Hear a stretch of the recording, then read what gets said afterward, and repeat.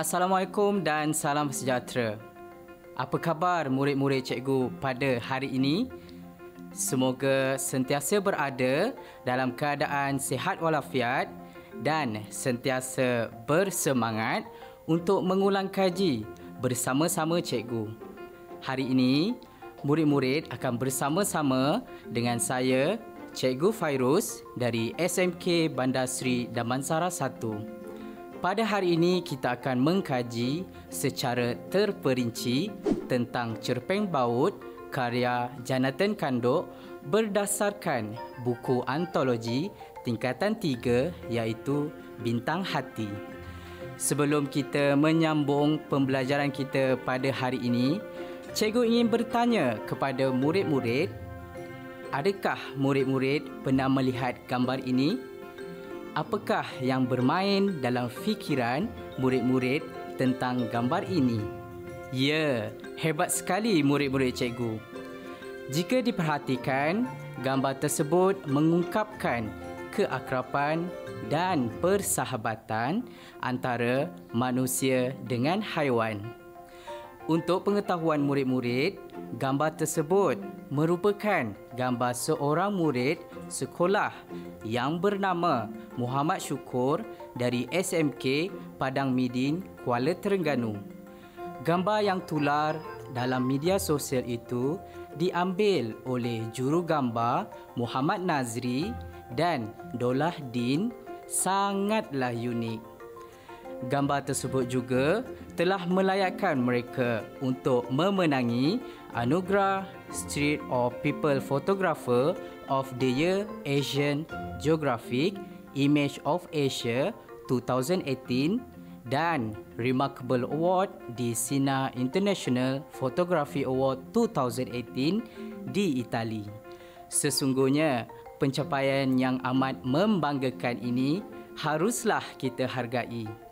Cikgu berharap agar murid-murid dapat mencontohi sikap Muhammad Syukur untuk sentiasa menghargai nilai persahabatan dengan haiwan peliharaan.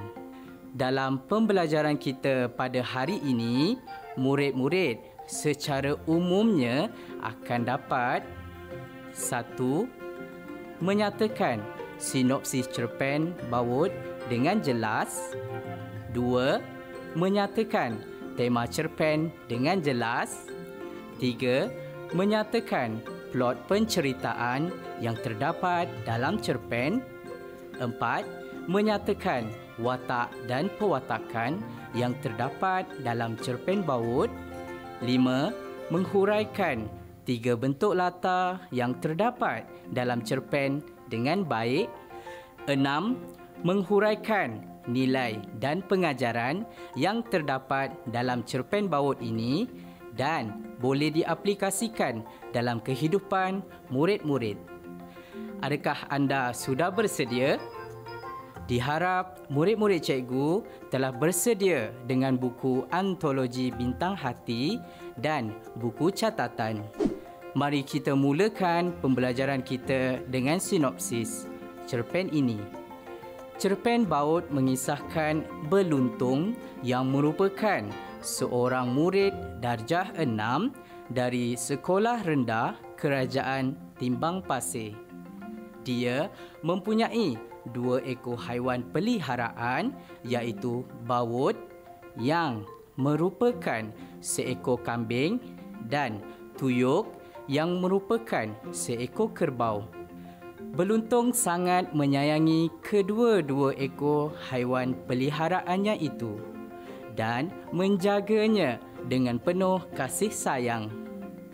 Hal ini dapat dibuktikan apabila dia berasa amat risau akan tuyuk dan baut ketika berlaku hujan lebat di kampung mereka.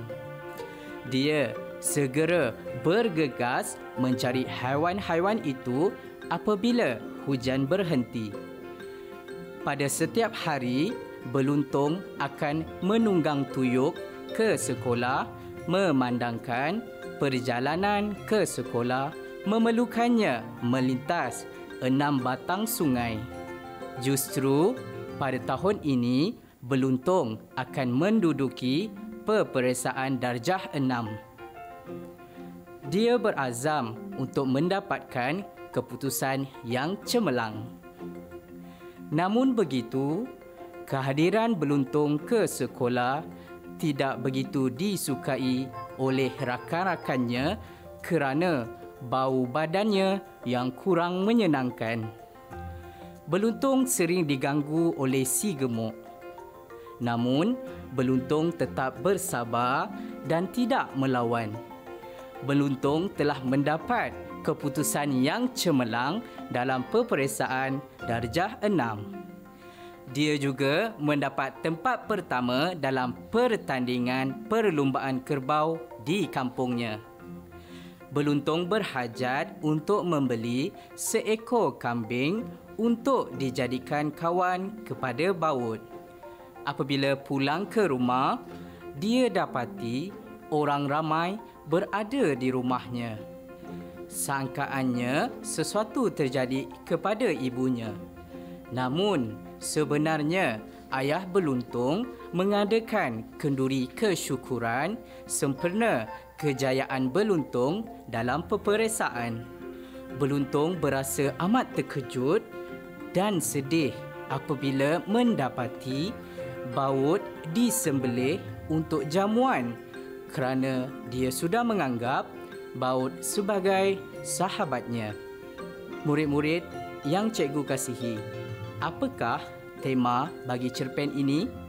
Ya, tema cerpen baut adalah persahabatan antara manusia dengan haiwan.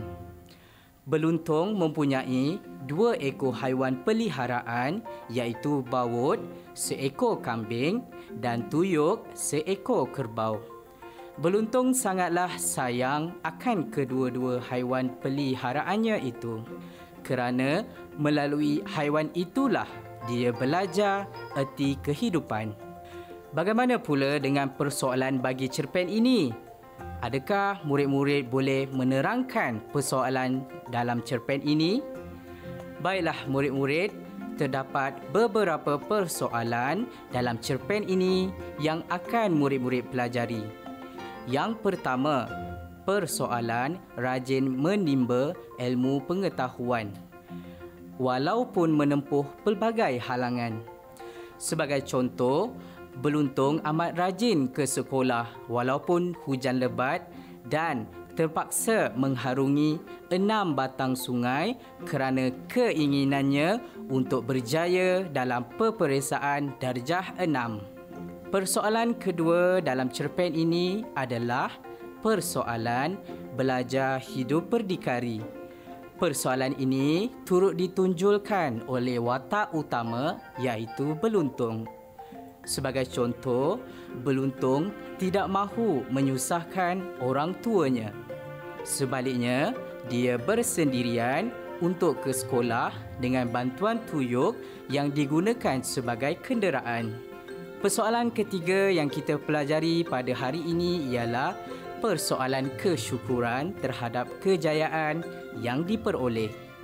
Bapa Beluntung mengadakan kenduri kesyukuran atas kejayaan cemerlang Beluntung dalam peperiksaan darjah 6. Dan persoalan terakhir yang akan murid-murid pelajari pada hari ini ialah persoalan amalan hidup bermasyarakat dalam kalangan penduduk kampung. Hal ini dapat dilihat apabila penduduk Kampung Layung menghadiri majlis kenduri kesyukuran sempena meraihkan kejayaan Beluntung dalam peperiksaan darjah 6. Mereka juga bergotong royong menyediakan makanan untuk majlis tersebut. Baiklah murid-murid, Mari kita lihat plot penceritaan bagi cerpen baut karya Jonathan Kando ini. Pertama, mari kita lihat plot permulaan. Banjir yang melanda Kampung Layung menimbulkan kebimbangan beluntung terhadap binatang peliharaannya iaitu tuyuk dan baut. Dia menyangka bahawa binatang tersebut telah mati lemas. Akhirnya, dia menjumpai haiwan peliharaannya itu dalam keadaan yang selamat. Kedua, mari kita lihat plot perkembangan dalam cerpen ini. Tuyuk dijadikan haiwan tunggangan beruntung untuk ke sekolah kerana jalan becak. Dia dicemuh oleh rakan-rakannya kerana bau badannya yang berbau kerbau. Beluntung tekad untuk mencapai keputusan yang cemerlang dalam peperiksaan darjah enam. Di sekolah, si gemuk atau basil telah mencampakkan buku-buku beluntung menyebabkan mereka bergaduh. Plot cerpen ini diteruskan lagi dengan klimaks. Beluntung menjuarai perlumbaan kerbau yang diadakan di Kampung Layung. Dia juga mendapat keputusan yang cemerlang dalam peperiksaan darjah 6 di Sekolah Rendah Kerajaan Timbang Pasir. Bapa Beluntung mengadakan kenduri kesyukuran atas kejayaan anaknya itu. Akhir sekali, bagi plot peleraian dalam cerpen ini adalah semasa mencari baut, Beluntung telah tersepak tunggul kayu lalu tersungkur dan pengsan. Setelah sedar, Beluntung amat terkejut apabila mendapati baut telah disembelih dan dijadikan juadah untuk majlis kesyukuran. Beluntung menangis dan menyatakan bahawa Bawut ialah sahabat baiknya. Menerusi plot penceritaan, cikgu yakin murid-murid dapat memahami jalan penceritaan bagi cerpen Bawut ini. Bagaimana pula dengan watak dan pewatakan dalam cerpen ini? Adakah murid-murid dapat memperincikannya? Baiklah murid-murid, kita teruskan pembelajaran kita pada hari ini dengan watak dan pewatakan. Watak utama ialah beluntung. Dia merupakan anak tunggal dalam sebuah keluarga dan murid darjah enam di Sekolah Rendah Kerajaan Timbang Pasir. Pewatakan beluntung ialah beluntung seorang yang bijak. Hal ini dapat dibuktikan apabila dia memperoleh kejayaan yang cemerlang dalam peperiksaan darjah 6 dengan memperoleh markah 98%. Selain itu, Bluntung merupakan seorang yang penyayang terhadap haiwan. Dia amat menyayangi bawut dan tuyuk dan menganggap haiwan peliharaannya itu seperti sahabat sendiri haiwan peliharaannya juga sering diajak berbual, diberi makanan dan dibawa ke sekolah. Seterusnya, kita beralih kepada watak sampingan dalam cerpen Bawut iaitu watak Bawut dan watak Tuyuk. Watak sampingan yang pertama ialah Bawut. Bawut merupakan seekor kambing. Bawut seekor kambing yang bersifat seperti manusia dan bersahabat dengan tuyuk. Bawut mempunyai sifat takut akan air. Manakala watak sampingan kedua dalam cerpen ini ialah tuyuk. Tuyuk merupakan seekor kerbau. Tuyuk menjadi haiwan tunggangan beluntung untuk ke sekolah. Tuyuk merupakan seekor kerbau yang bersifat seperti manusia dan bersahabat dengan bawuk. Tuyuk sangat setia kepada tuannya. Adakah murid-murid sudah jelas dengan watak dan pewatakan bagi cerpen bawut ini? Bagus, anda memang bijak. Murid-murid yang cikgu kasihi, sekarang kita lihat pula latar dalam cerpen ini.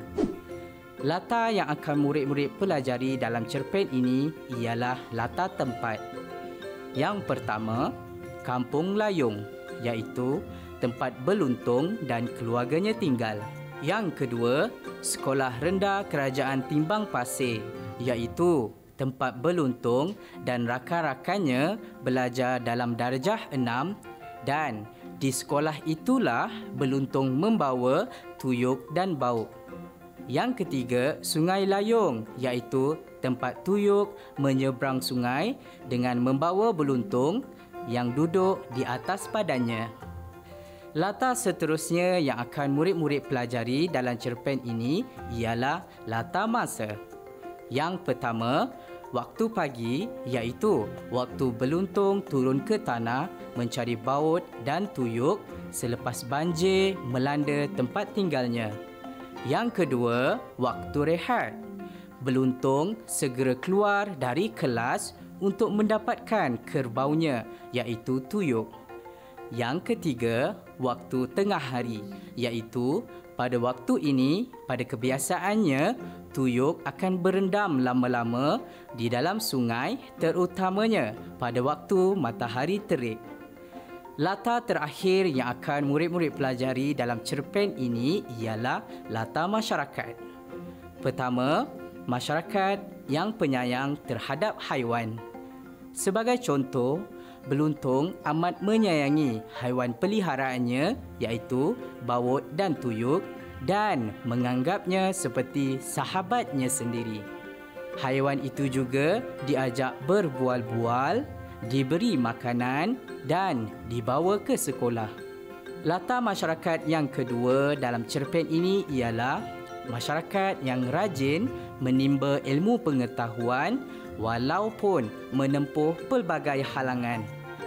Beluntung amat rajin ke sekolah walaupun hujan lebat kerana keinginannya mahu berjaya dalam peperiksaan darjah enam. Latar masyarakat yang ketiga ialah masyarakat yang mengamalkan semangat kejiranan. Penduduk Kampung Layuk menghadiri majlis kenduri kesyukuran sempena meraihkan kejayaan beluntung dalam peperiksaan darjah enam. Mereka bergotong royong menyediakan makanan untuk majlis tersebut. Seterusnya, kita akan mempelajari nilai dan pengajaran Adakah murid-murid sudah bersedia?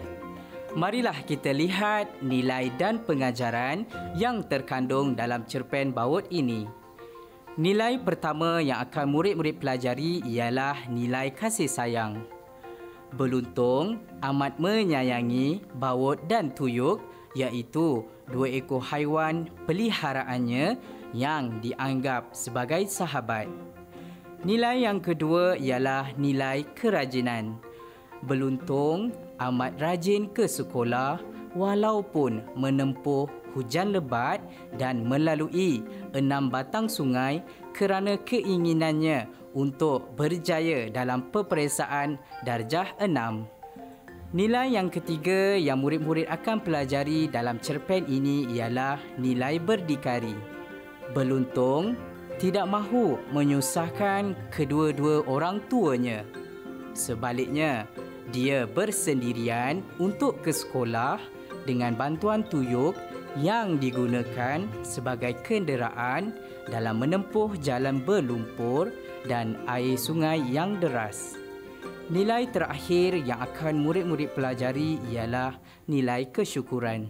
Bapa Beluntung mengadakan kenduri kesyukuran atas kejayaan cemerlang Beluntung dalam peperiksaan darjah yang dianggap kejayaan memecahkan rekod bagi penduduk Kampung Layung. Adakah murid-murid dapat memahami nilai dalam cerpen ini?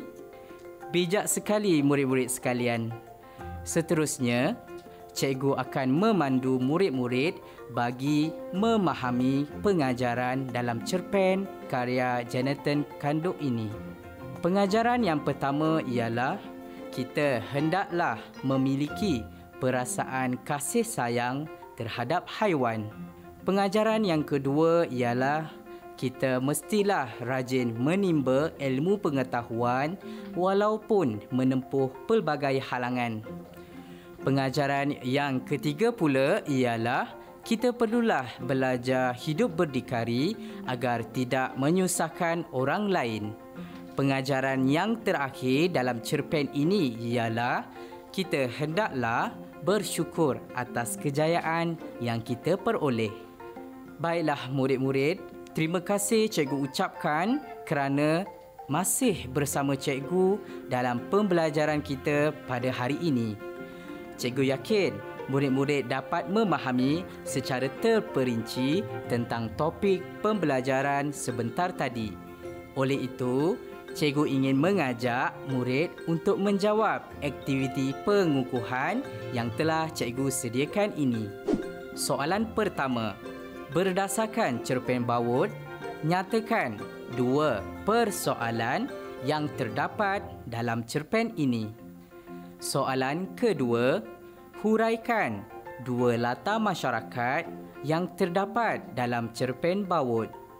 Soalan yang ketiga, kita hendaklah memastikan haiwan peliharaan kita berada dalam keadaan yang selamat. Pada pendapat anda, apakah cara-cara yang terbaik untuk memastikan keselamatan haiwan peliharaan? Bagi soalan pertama, markah yang diperuntukkan adalah sebanyak tiga markah. Justru, jawapan yang diperlukan adalah dua isi bersamaan dua ayat. Manakala satu markah pula bagi mewakili markah bahasa. Soalan ini memerlukan murid-murid untuk menjawab dua persoalan yang terdapat dalam cerpen ini. Jadi, jawapan yang sepatutnya ialah berdasarkan cerpen Bawut, dua persoalan yang terdapat dalam cerpen ini ialah persoalan rajin menimba ilmu pengetahuan walaupun menempuh pelbagai halangan dan persoalan kesyukuran terhadap kejayaan yang diperoleh. Bagi soalan dua pula, markah yang diperuntukkan adalah tiga markah juga. Oleh itu, jawapan yang diperlukan adalah dua isi bersamaan dua ayat yang lengkap manakala satu markah lagi merujuk kepada markah bahasa. Murid-murid perlu menghuraikan dua latar masyarakat yang terdapat dalam cerpen bawut karya Jonathan Kando. Jawapan yang sepatutnya ialah berdasarkan cerpen bawut karya Jonathan Kando, dua latar masyarakat yang terdapat dalam cerpen ini ialah latar masyarakat yang memiliki perasaan kasih sayang terhadap haiwan dan latar masyarakat yang rajin menimba ilmu pengetahuan walaupun menempuh pelbagai halangan. Akhir sekali, bagi soalan yang ketiga, soalan ini memperuntukkan markah sebanyak empat markah. Justru, murid-murid perlu memberikan tiga isi yang bersamaan tiga ayat. Satu markah adalah markah bahasa. Soalan ini memerlukan murid-murid untuk berfikir cara-cara terbaik untuk memastikan keselamatan haiwan peliharaan.